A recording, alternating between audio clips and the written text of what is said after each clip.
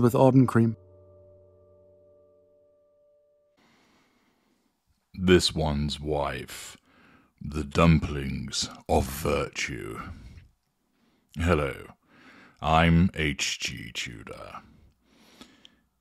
You became acquainted with the bananas of empowerment when this one's wife took a sharpie to various bananas to then hand to sex workers with supposed inspirational comments such as, You matter, you are loved, you are strong.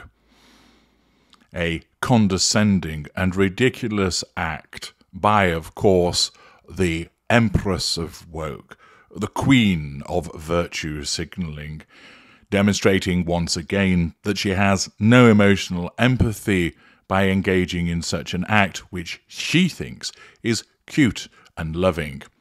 Even Harry suffered an eye roll strain in the background when she did this. But lo and behold, the bananas of empowerment came into being. Thereafter, we were graced with the chickens of authenticity. Yes, by triangulating the world with the rescue chickens and also handily creating a compound where Harry could be sent when he'd been a naughty boy, this one's wife decided that her authenticity could be demonstrated by the fact that she had some chickens. Now, there is a third member of this stable of ridiculousness. They are the dumplings of virtue.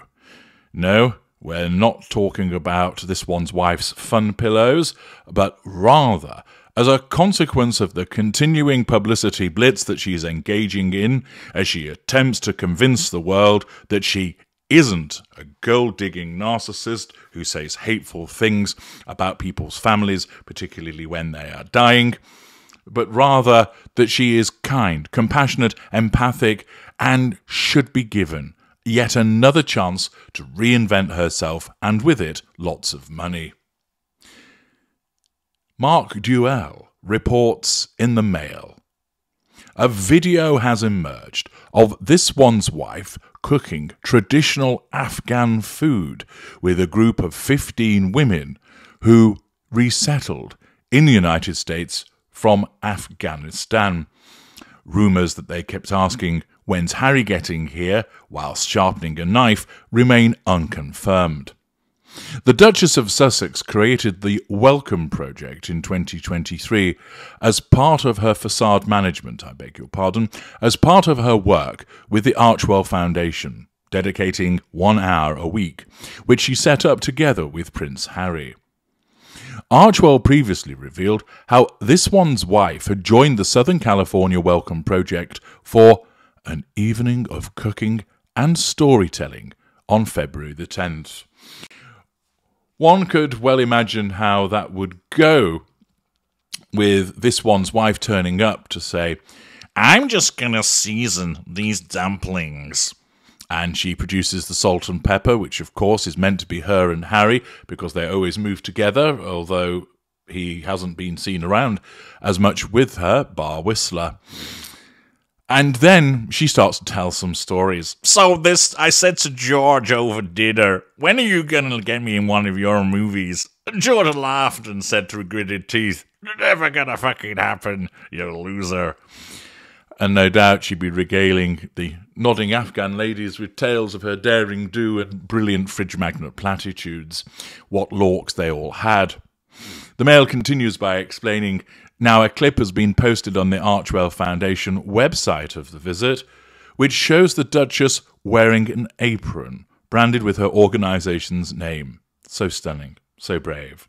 This one's wife, 42, was filmed joining the group of women cooking traditional Afghan food, including a ashak and mantu, which are both types of dumpling. Yes, the dumplings of virtue have thus been conceived. It comes just days after the Duchess appeared in London via video link to open a new wing of an animal charity. She cooks. She open wings. She likes animals. Is there no end to this angel of mercy's talents?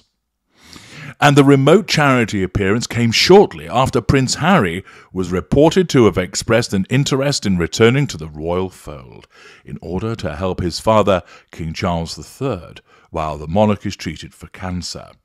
The monarch's response to that was, stupid boy.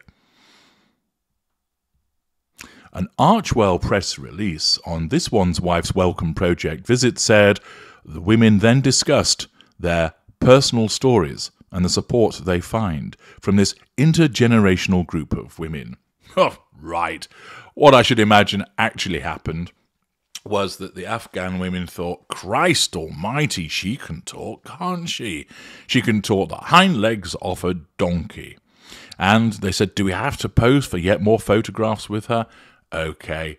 And as she went on and on and on about sitting in your authenticity and fondling the dumplings of virtue, they basically suffered severe eye roll strain. The visit was in partnership with Mina's List, an organization based in New York, which has worked with women activists and political leaders in Afghanistan since 2014, and now this one's wife.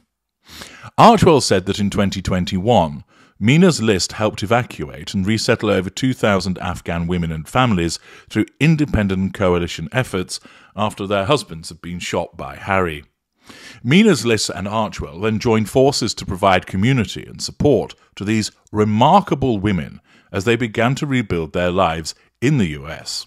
This one's wife is said to have been inspired inspired to set up the project following her work with the Hub Community Kitchen in West London in 2017, which was organised by a group of survivors from the Grenfell Tower fire, which this one's wife then hijacked and then gave the death stare to her mother when she deigned to interrupt her at one of the events.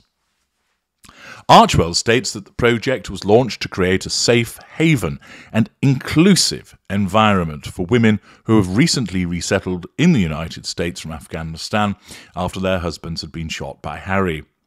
It adds that the project has a belief in the project on the power of connection and a goal of uplifting communities and supports the creation of programming for women who have recently resettled from Afghanistan.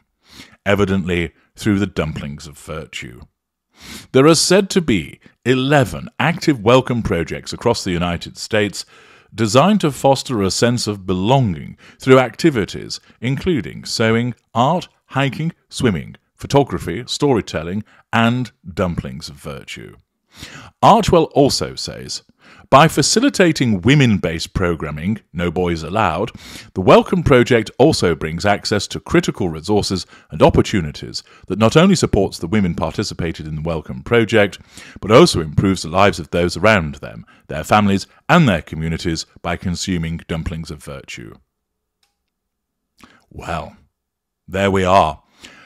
Her blitzkrieg approach continues gurning on the slopes at Whistler, out for dinner with Buble, serenaded by Buble, appearing by video link in London, out for dinner with her fashion designer, perhaps to talk about a range of children's clothing, out with somebody involved in Oprah's network, ensuring, of course, that we get to see Unremarkable Woman going out for lunch and then dinner and now she has created the dumplings of virtue as she turns up, releasing a video showing her doing some cooking with the Afghan ladies. It's relentless as she attempts to persuade everybody that she ought to be readmitted into the royal family and some quasi role. Notice it's no coincidence that at a time when the king has to row back his activities and the Princess of Wales is convalescing, this one's wife seeks to fill the gap with her own pseudo royal behaviour. Here I am on the slopes, sucking up all of the attention away from the people that should be getting it. Look, here I am out dining. Here I am out lunching. Here I am getting in a car. Here I am getting out of a car. Here I am crossing the street. Here I am doing some cooking. Here I am being kind about animals and a man who died. I'm just like the royals, you know. Let me back in. It's entirely transparent, and you have to say that she certainly is giving it a good go to try and change the mind of the world in relation to what she is. But is it working? That, of course, is the $64 million question. Going below the line, the Fool on the Hill, Queen of the Virtue Signal, does some virtue signalling. So much yawn. Moon Bunny, let me guess she made a dumpling and it was uplifting and empowering. It made an impact. Safrizal, she is disingenuous. Kitty Cat, why does one get the impression that everything she does is for self promotion and content? Earth Mother succinctly answers, because it is. NB Para, so fake. ZP, pretending to be a royal again. Annie, so she is back to being a humanitarian again. Lucy, the actress is acting. What else is new? Grand Marisa, why don't you go and take some dumplings to your sick father? Maybe bring his grandchildren along too. Northumbrian lad, marry a dumpling, make a dumpling. How exciting. Rice and beans. Oh, that's a nice thing to do. Perhaps she can build some cabins in her grounds and offer them a place to live. Jack Nicholson. Always putting on a performance for the cameras. Norfolk Glass. Acting like royalty, yet is not and never will be. I'm all for her doing good, but with her, it just seems tacky. Huckle Cat. How insulting to Afghan women. She is such a user of people. Somerset M. She can't even smile with sincerity. The most loathsome female alive today. Most cannot stand her.